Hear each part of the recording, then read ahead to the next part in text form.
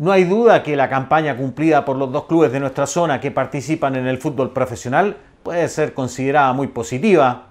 Mientras Unión La Calera comenzó esta temporada estando muy abajo en la tabla de posiciones y siendo uno de los principales candidatos a descender, luego de la llegada de Ariel Pereira y de, la gran campaña cumplida durante el torneo, le permitió a los rojos primero comenzar a dejar atrás esa situación de peligro que tenían de descender para incluso ubicarse en los primeros lugares de la tabla de posiciones.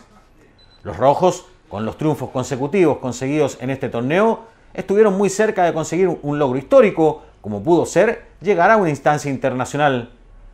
Los cementeros pudieron estar en la liguilla final, donde solo los penales frente a San Marco de Arica lo dejaron fuera de conseguir esa importante hazaña que hubiera sido estar en la próxima competencia sudamericana.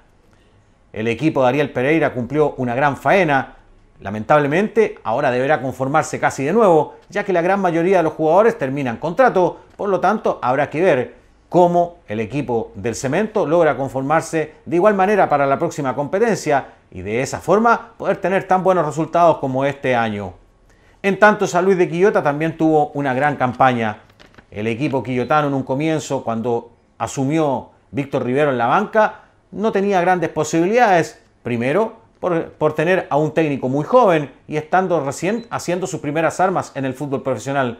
Pero a punta de buen trabajo, de un trabajo serio y profesional, los amarillos lograron comenzar a ganar y de esa manera convertirse prontamente en uno de los candidatos a poder conseguir el único cupo que entregaba la primera vez para ascender.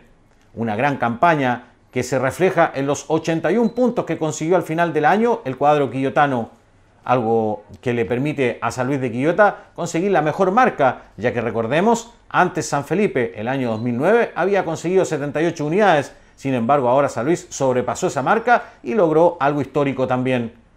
Lamentablemente, el cuadro canario también deberá conformarse nuevamente, ya que varios de sus jugadores terminan contrato.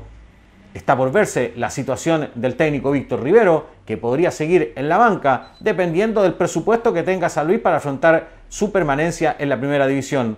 Todo esto se deberá definir en una reunión de los accionistas y de la cual deberá salir humo amarillo, podríamos decir, en San Luis, para seguir afrontando de la mejor manera su primer año en la primera A del fútbol chileno.